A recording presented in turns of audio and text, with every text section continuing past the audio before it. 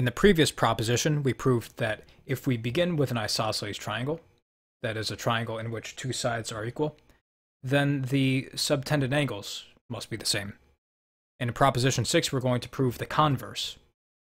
That is, if we begin with a triangle in which two angles are the same, then the opposite sides must therefore be the same, and the triangle must be isosceles.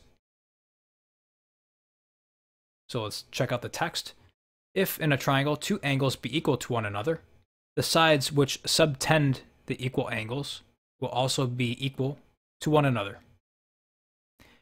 Let ABC be a triangle having the angle ABC equal to the angle ACB, so those two are the same.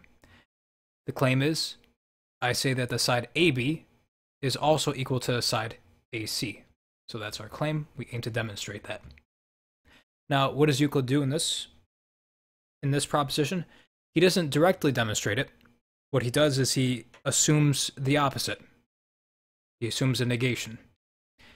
For if AB is unequal to AC, he's going to assume that this left-hand side is going to be unequal to AC. One of them is greater. And he says, let AB be the greater side. If that's the case, from AB the greater, let DB be cut off equal to AC the less. So remember, we're supposing that AC is going to be less than AB. So if that's the case, what we're going to do is cut off from AB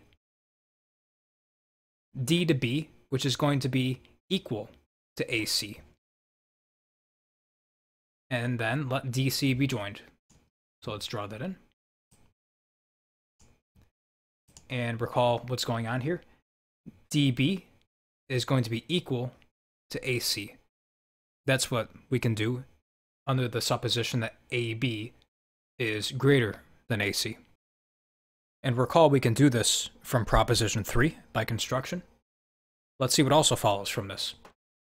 Then, since DB, this is DB right here, is equal to AC, and BC is common, let's highlight the common, side.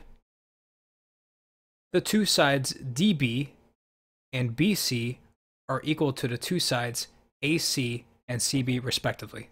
That is, DB is equal to AC from that construction through proposition 3. And BC, BC is right here, is equal to CB, which is of course true. And the angle DBC, so D to B to C, that's one of the two given angles, is equal to the angle ACB, ACB. Now we're going to infer the equality of two triangles. So let me draw out the two triangles that we're going to conclude are the same. We're going to conclude that D to B to C is going to be equal to the triangle A to B to C. And why are we doing this?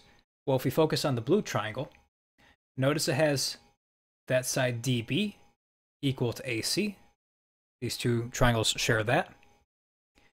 They share the common side BC, and they both share an angle in between those sides, DBC for the blue triangle, and ACB for the red triangle.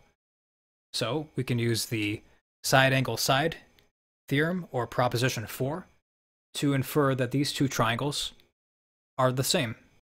Hence, the triangle DBC, which is less, is equal to the greater ABC, which Euclid says is absurd.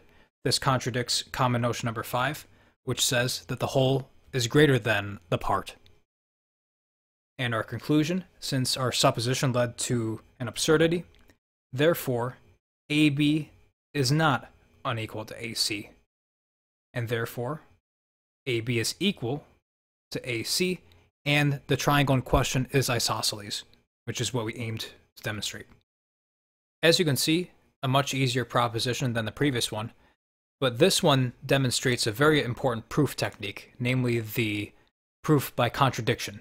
Notice we didn't directly demonstrate that AB is equal to AC, what we did is we assumed the negation, namely that AB is unequal to AC, and we demonstrated that this leads to the absurd conclusion that we have this triangle DBC being less than ABC, but it's also equal to ABC.